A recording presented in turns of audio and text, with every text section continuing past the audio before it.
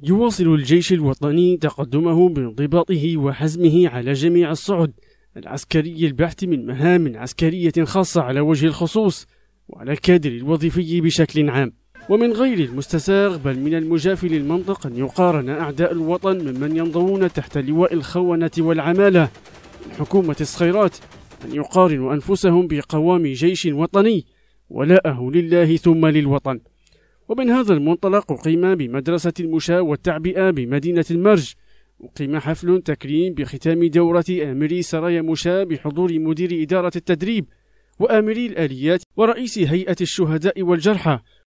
نحتفل بتخريج وإنهاء دورة أخرى من الدورات التدريبية ألا وهي دورة آمري سرايا مشاة آلية رقم ثلاثة ونستعد لاستقبال عدد من الدورات الأخرى وهذا كله يأتي في إطار بناء القوات المسلحة البناء الصحيح وفق رؤية القيادة العامة وإدارة التدريب.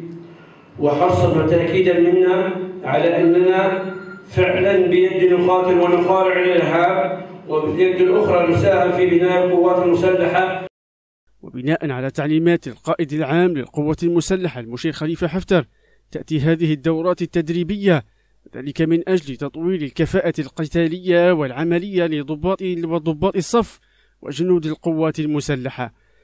في الوقت الذي يرابط فيه أبطال القوات المسلحة في جميع الجبهات ضد قوى الظلام والإرهاب ها هم منتسبو إدارة التدريب ومؤسساتها التعليمية يخوضون معارك لا تقل أهمية عن معارك الجهاد ألا وهي تحديات البناء للمؤسسات العسكرية.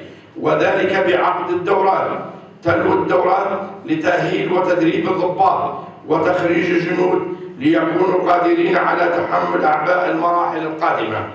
واختتمت الدورات التدريبية للضباط وضباط الصف والجنود مؤكدين أنهم على أهبة الاستعداد وتحت أمر القيادة العامة للقوات المسلحة للدفاع والذود عن الوطن من الأتراك الغزاة والميليشيات المسلحة التابعة لحكومة السراج.